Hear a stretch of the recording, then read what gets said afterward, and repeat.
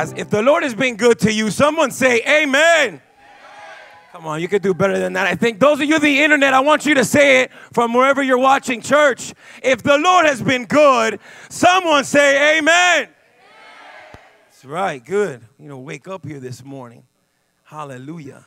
Ha! I like that. I don't know who said that laugh, but it made me laugh. Praise the name of Jesus.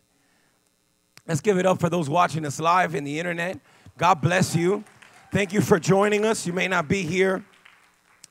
You may not be here physically, but you are here in spirit in the same power that that the same spirit of the living God that's here is here and dwells with you in the name of Jesus.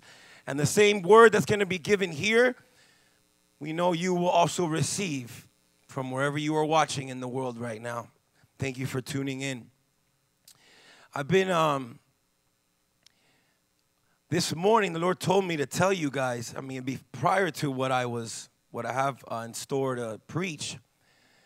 Sometimes, and I and I was dealing with this too. There'll be a day where sometimes we get anxious, and I talk about this a lot. And this and this happens to, I believe, every single Christian in the world. I mean, it's just something that we sometimes struggle with. It's in our human nature sometimes to uh, to put the weight of certain issues and certain um, it could be a good issue and sometimes it could be a bad issue but the point is depending on whatever issue it may be i guess when you say the word issue you think of something negative but sometimes even something good could be overwhelming it's crazy, right? Sometimes you can have so much of, you know, I could give you the perfect example, right? Like um, someone that gets married, right? It's a great, beautiful day when you are, you know, it's one of the most beautiful days of your life, a wedding day and all that.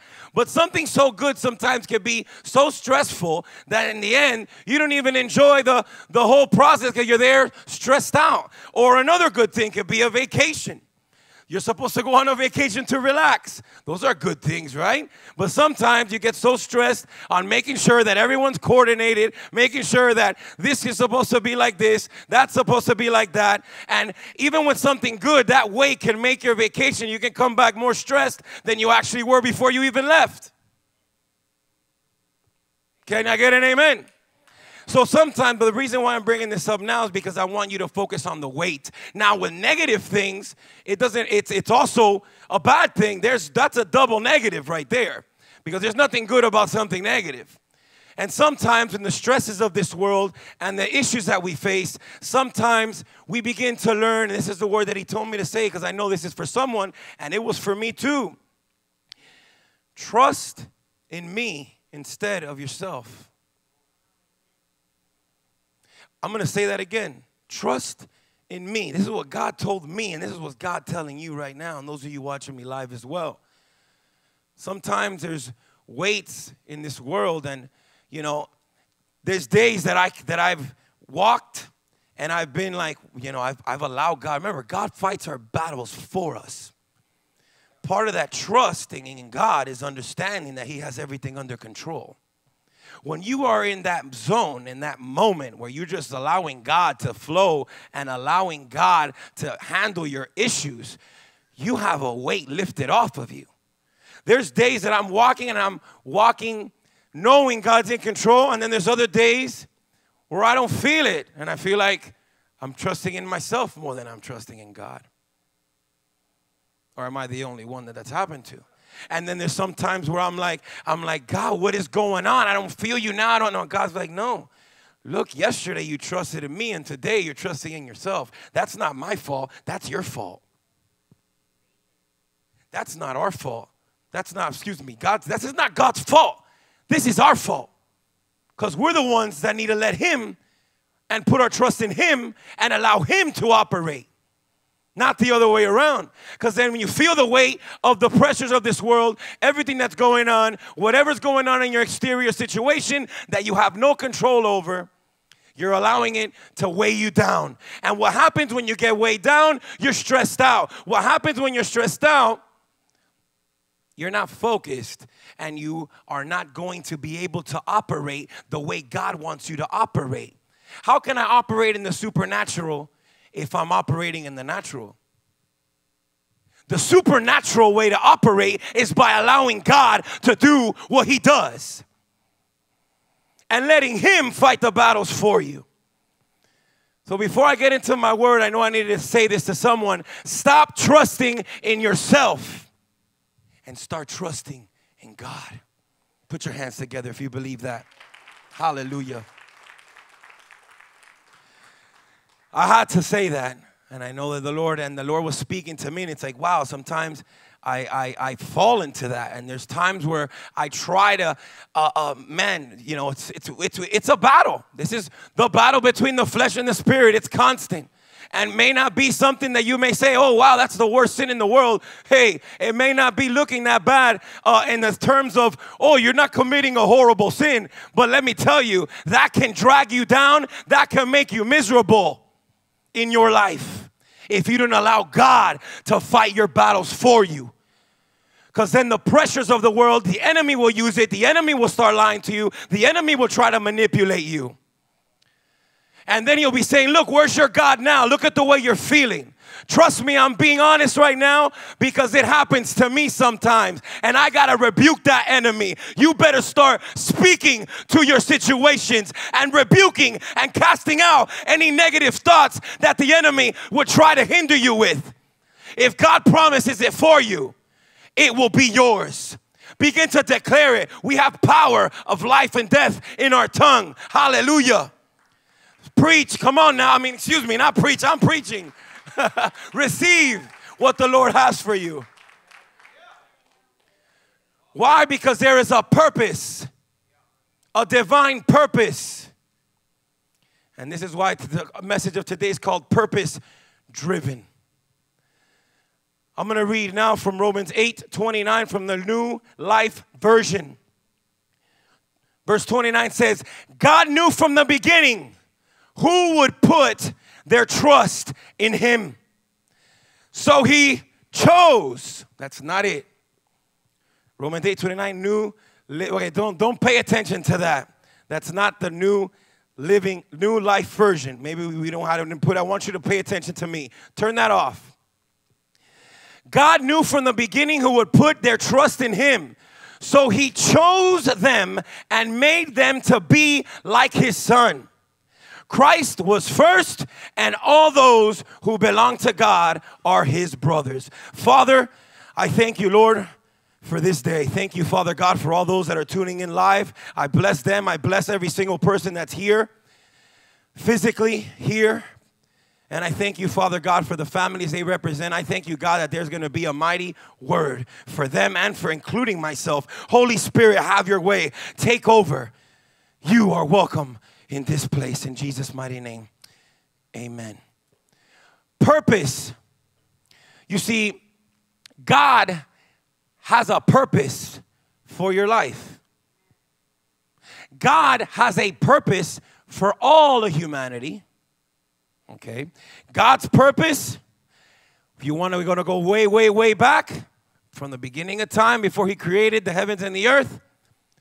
I've had a couple preachings on this. I'm not going to get into detail, but the initial purpose of our, our being was to glorify God, Jesus Christ. That was the begin. That was our main purpose. We know what happened. Man sinned. We fell short. Jesus had to come and restore what we messed up. Praise the Lord for Jesus Christ. Someone say Amen. yeah. Now the purpose has shifted. Because once our purpose was solely we were pure. Now we got to have a flesh that we deal with and thank the Lord through the blood of Christ and through our repentance, we're cleansed as snow. Hallelujah. But now we have to face this battle. So the purpose has shifted, but there is a broad purpose for your life, and there's also a distinctive purpose for your life.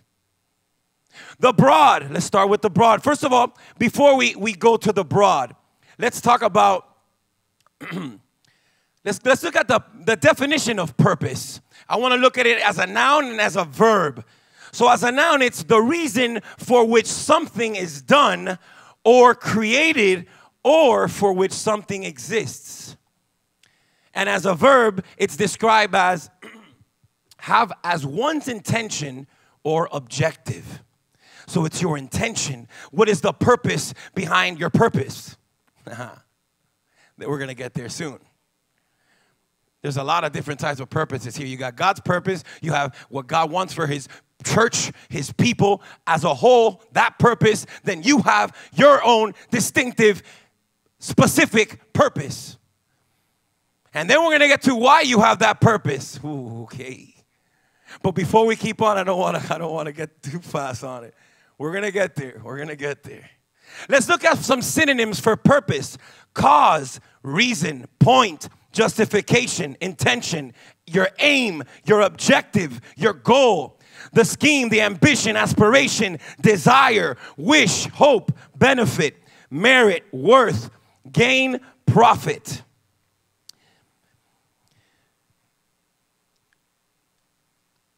Out of all the questions I find myself when I meet people, right? There's and I know you guys, maybe some of you are in here have this question. This is a very common question that most people in life, and even Christians, which the majority of us here are, and if you're not, by the grace of the Lord Jesus Christ, you will surrender today to your King. Amen. We'll get there at the end. But for now, the question that most people in this life all go around is what is my reason or what is my purpose in life? And you could be a Christian. And now we're talking about as, as, as children of God, we're all called in a broad perspective to glorify our King, love God with all your heart, soul, mind, strength, love your neighbor, and glorify God in everything you do. I'm going to read a verse on the broad perspective that God has for his people as a church, as a body of Christ. Who here is part of the body of Christ? Come on now, amen. Hallelujah. We're all brothers and sisters in Christ. We all have one common purpose, and it's to glorify God in everything we do. Now, your distinctive purpose, what's the reason for you to be alive? It's more than just making money and having a family and growing old. You see, there's big things in your life and your distinctive purpose. So many people want to know the reason why they're alive. You see, we know the broad perspective, we're glorifying God. Amen. In all that we do. But now your specific niche, you're a professor, you're a doctor, you're a carpenter, you are uh, you probably work in I don't know what, maybe you're a minister, maybe one day you want to become a pastor. Ministerially, everyone has a distinctive purpose in this life. I want to read to you here Isaiah 43, 18 through 21. Glorifying God in everything we do. This is our overall broad purpose. Listen to what he says here. This is so powerful. Pay attention, church. Isaiah 43, 18 through 21. Verse 18. Remember not the former things, nor consider, this is the English Standard Version. Uh huh, good. We got that right. Amen. Verse 19. Behold, I am doing a new thing. Now it springs forth. Do not perceive it. Do you not perceive it? I will make a way in the wilderness. Wow, amen. And rivers in the desert.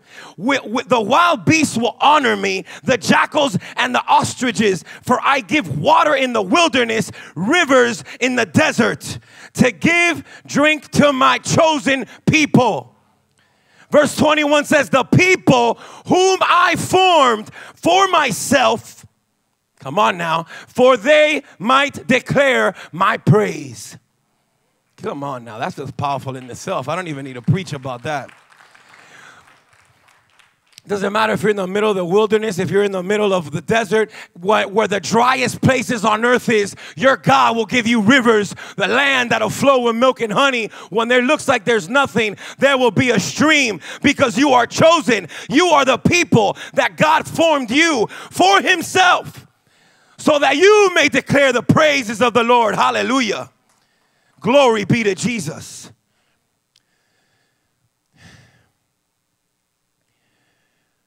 We know that now, our overall.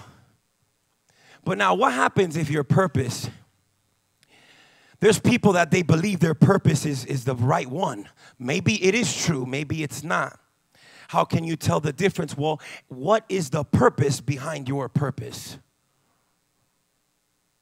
You see, Saul, I'm not talking about I'm not talking about King Saul. I'm talking about Saul Saul that later became known as Paul.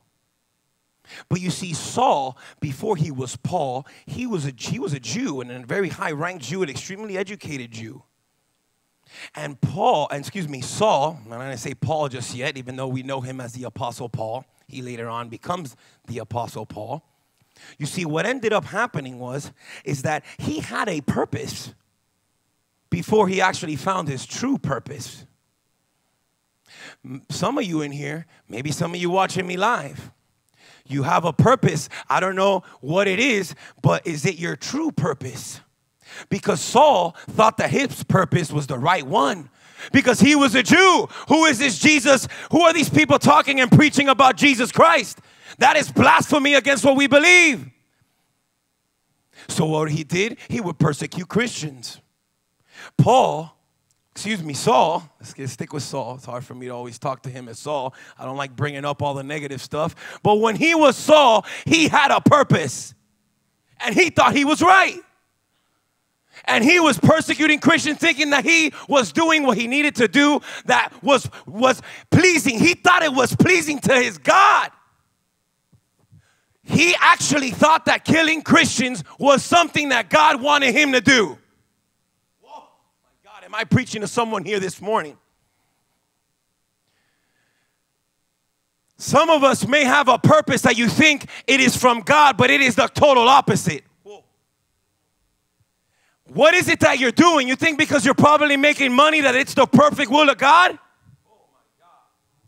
And I'm not saying making money is wrong. God wants us all to flourish, but how? What is the purpose behind your purpose? What is the purpose behind your purpose? You see, Paul, Saul, excuse me, I'm gonna get to Paul now. Stick with me, guys, stick with me. Hallelujah. You guys are with me, say amen. Let's get right here. That's the point. The point is to be and understand what God has for you and that it, it just penetrates through your spirit. Hallelujah. So, your purpose, Saul had a purpose he thought he was pleasing God. He was very successful doing it. But it wasn't until the day that he was on the road to Damascus. And now in Acts 22, it says that suddenly a sound and a rushing wind came from heaven, and he fell and he became blind. You see, that suddenly, I feel like that word today is a word for most. Most of you watching. Because guess what? I'm not here to talk about maybe you need to change your overall purpose. Maybe there's different areas of your life that you need a sudden change. Suddenly. You see, Paul, Saul didn't become Paul until he had an encounter with God. Put it, put it together because that's what happened. Put your, put your hands together if you believe it. Because that is the truth. He had a purpose thinking that he was pleasing God, but it wasn't until God showed up, it wasn't until he had an encounter. It wasn't until Ananias went and laid his hands on him, he was filled with the Holy Spirit. He repented. He said, God, forgive me. I know that my purpose before had nothing to do with your purpose. You see, your purpose in life has to be aligned with God's purpose. Because the real purpose is where do you find it? In the Word of God. How many people think they know what they're doing, think that they're going in the right direction? You're probably headed in the wrong one. But if you know that you're in line with the Word of God, hallelujah, rejoice. Rejoice. And if you are not in line with the Word of God, then your purpose needs to be in line with God's purpose, His Word. And then you can then you then you'll be purpose driven driven towards the driven towards the goal. Driven for more. Driven towards righteousness. In everything you do you have to understand that there has to be a suddenly in your life suddenly the Lord opened your eyes to something you need to shift. Suddenly, maybe your whole career needs to shift. Suddenly, say suddenly. Suddenly.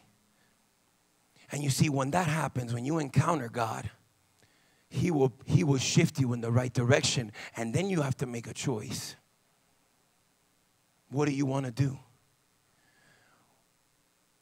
What do you want to do? You see, I want to make sure, regardless of my flaws, regardless of what it is I've been going through, or what I'm going through, or what I have gone through, or what I may go through in the future, I want to be purpose driven towards my king. I want my purpose to be in line with his purpose. Because you see, that's where the blessings are really going to flow.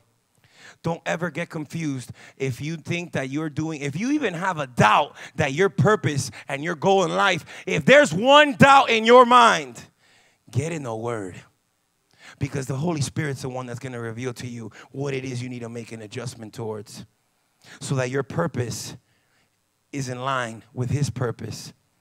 You see, what's your goal? Is it just to be rich? You see, there's nothing wrong with making money. And I'm bringing up money because we just brought up and the thing is, money is one of the most talked about, I believe it's the second most talked about topic in the whole Bible. It's the reason why you wake up all the time, and it's the reason why, you know, wake up to go to work. It's part of our life. We need money to eat. It's, a, it's, an, important, it's an important factor in our life, right? And we, it's not that it's the most important thing, you know, it's good, it's, it's, it's good to, it's, money's not bad. The love of money is. That's bad. We had a series that we did here weeks ago or months ago called Money Talks. And it does. Money is an important factor. And to a lot of people, that's why Jesus said it is almost impossible for a rich man to inherit the kingdom of heaven. Because a rich man already uh, uh, is already comforted with his bank account instead of with God. And you see, that's the problem. Where's your heart? But you see, I bring up money because your purpose in life is just to be rich, then the purpose behind your purpose is flawed. Or are you trying to be are you trying to make money so that you can glorify God with it and help others and be comfortable at the same time? Whoa. Yeah. These are things that we have to think about in our life. And what's the motive? What's the purpose? Why do you wake up in the morning? Is it just to solely make money? Okay then your purpose is already messed up. That's already, that's wrong. I'm being honest with you. You can't wake up and the first thing in your mind needs to be, hey, I'm only doing no no no. I am a child of God with with what the Lord gives me, I can be a blessing to others. Shine my light and let them know, "Hey, you see how I am? You see where God has brought me? I tithe, I sow. I am a person that believes that God is my stock market. God is my cryptocurrency." I don't care what happens in the market because God's the one that's going to bless me. God's the one that's going to open a door that no man can close in your life. God's the one that's going to bring you the woman of your life, the man of your life. Come on now. God's the one that's going to tell you to not do business with that person, to stay away from that person, to pray for this person. Come on, guys. Come on now. Hallelujah.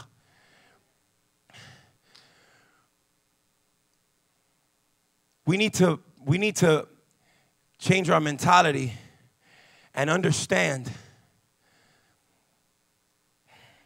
that our purpose must be in line with God's purpose, regardless of what it is that you do, regardless of what profession. You have to, when uh, maybe right now, the Lord's revealing to you that some things you just need and may repent of. Maybe you've been a, a person that's super, uh, um, you maybe need to make a adjust. This is why you're here, and it's okay. This is a beautiful thing. That's why we come to church. That's why we listen to the Word of God. It's a constant renewal of your mind. Maybe you're watching me right now. You know who you are. If you need to make certain adjustments in your life, right where you're at, pray to God, repent, and move forward. Hallelujah. This is the point of all this. Look what it says. Here's, this is, I'm going to read a couple of verses. Pay attention, church, on the important verses on God's purpose for your life. Are you ready? Say amen. Look what it says, John 15, 16. These are all ESV, English Standard Version. Verse 16. You did not choose me. Pay attention, church. This is God speaking to you right now. You did not choose me, but I chose you and appointed you that you should go and bear fruit and that your fruit should abide. Hallelujah. So that whatever you ask the Father in my name, he may give to you. Listen to the next one. First Peter 1 15 through 16. But as he who called you holy, you also be holy in all your conduct. Since it is written, You shall be holy, for I am holy. Hallelujah. Hallelujah. I'm going to give you another one. Are you receiving, church? Second Timothy 1 9. Who saved us and called us to a holy calling, not because of our works, but because of his own purpose and grace, which he gave us in Christ before the ages began. That's the purpose of God right there before the ages began. Hallelujah. Go to 1 Peter 2:21. For to this you have been called, because Christ also suffered for you, leaving you an example so that you might follow his steps. Your purpose is found in Christ. I said, Your purpose is found in Christ so that you may walk the way Christ walks. We're called to be an image, a reflection of Jesus Christ.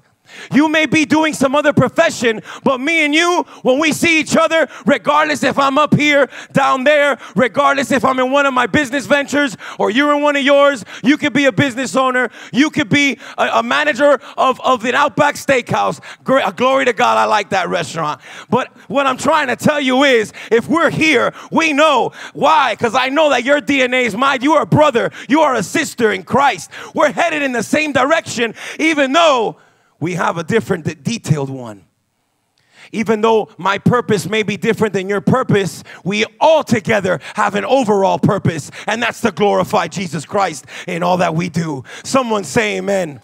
Hallelujah. Glory be to Jesus. And the purpose goes far beyond. Stand to your feet, church. I want to read this to you. Glory be to Jesus. Your purpose goes beyond just us here while we're breathing here in this earth, ladies and gentlemen. There is something called an eternal purpose. Because you know, our God's an eternal God, right? Someone say amen. Our God is an eternal God. He's always existed, He will always exist. We may not comprehend it. We're not called to comprehend that. His purpose is going to be woof. We'll never be able to think the way he thinks. That's why the Bible says his thoughts are higher than our thoughts, his ways are higher than our ways. Look what it says here. Paul says it best. Excuse me. The Holy Spirit through Paul. Now, because now we're talking about Paul. We all maybe you don't know the exact story of Paul, but once again, I, I, I briefly mentioned it. We, I talk about him a lot. He's one of the pioneers of the Christian faith, wrote the majority of the New Testament. Hallelujah. How God used him. Amen. But look what it says here in Ephesians 3, verse 8. You have an eternal purpose. Let's go Ephesians 3, 8 to 13. Look what it says here. To me, though I am the very least of all the saints, the grace was given. This is Paul talking to himself. Excuse me, writing about himself. To me, though I am the very least of all the saints. This is the Apostle Paul bringing himself, humbling himself down. To me, though I am the very least of all the saints, this grace was given to preach to the Gentiles and the unsearchable riches of Christ. If you guys are not born Jewish, we're, we're Gentiles, just so you know. And to look at it says, verse 9, and to bring to light for everyone what is the plan of the mystery hidden for the ages in God who created all things? Verse 10. So that through the church, the manifold wisdom of God might be made known to the rulers and authorities in the heavenly places. Look what it says here in verse 11. This was according to the eternal purpose that He has realized in Christ Jesus our Lord, in whom we have boldness and access with confidence through our faith in Him. Verse 13. Pay attention, church. So I ask you not to lose heart over what I am suffering for you, which is your glory. Your glory is found in Christ Jesus.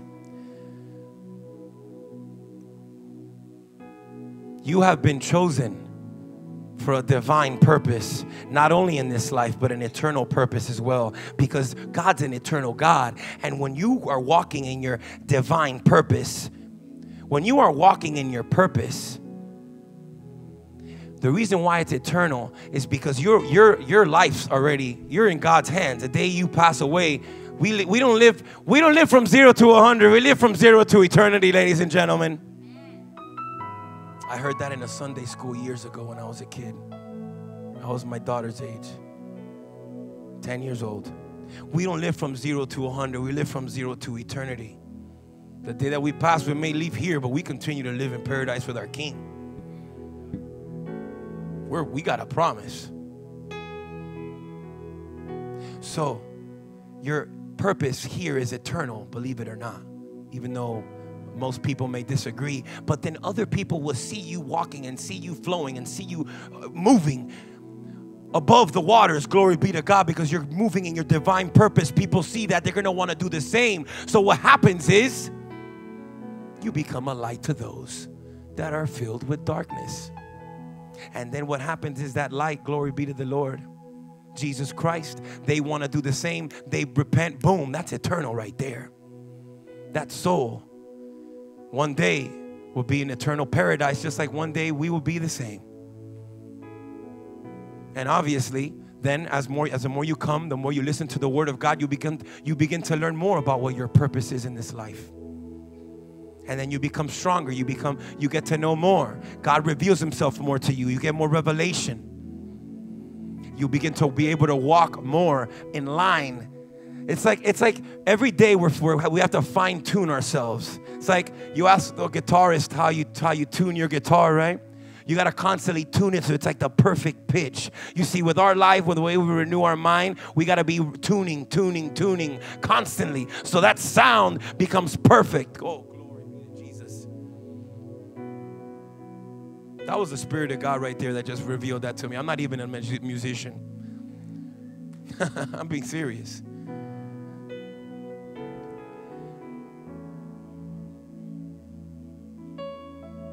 Hallelujah. We're all called to be instruments, though. Amen. Thank you for that one.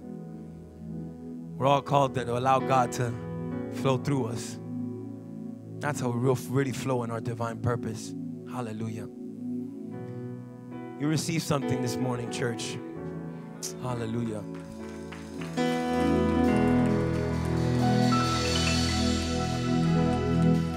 Now, before I before I close, well, we're not closing just yet. I didn't even see the clock there. Thank God I had it on my laptop. We got time. We're good. We're not leaving just yet, but this is the, this is an extremely important part, if not the most important part of the service. And you see, the only way to truly be purpose driven, the purpose behind your purpose has to be Jesus Christ. He's the only one that can get you to your divine purpose. You won't be able to operate eternally or here in this, in, in, in uh, I guess you would say, in our time here on earth. Because you see, once we're with God, then we're, we're it's eternally perfect. We don't have to worry. We don't have the flesh anymore. There's, there's no battle in heaven. We're just going to be eternally praising our King. But you see, here, Jesus died for the sins that you have committed and will commit later on, because nobody here is perfect. Everyone has made a mistake and will make a mistake later on in the future because we're not perfect. We need the perfect one to abide in us, the perfect one to cleanse us, the perfect one to guide us. Hallelujah.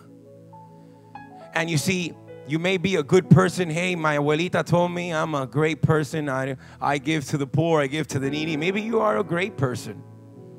Amen to that. I applaud that. And thank God for your abuelita too.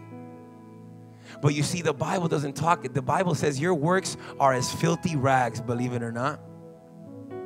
Yeah, I know. It's sometimes harsh. The word of the Lord could, could pierce through us and make us think twice. Why would God say that? Well, because God wants adjustments. Sometimes it feels nice to get coquillita and cariño.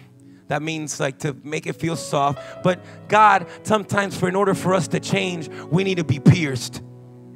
We need to be, sometimes we're going to say things that we don't like to hear. To make adjustments sometimes hurts. Sometimes it's painful. Sometimes, yeah, we got to lower our pride. You're a super prideful machista, huh? That's not how you get into heaven. The Bible says, I am the door. Jesus says, I am the door. No man can come to the Father except through me.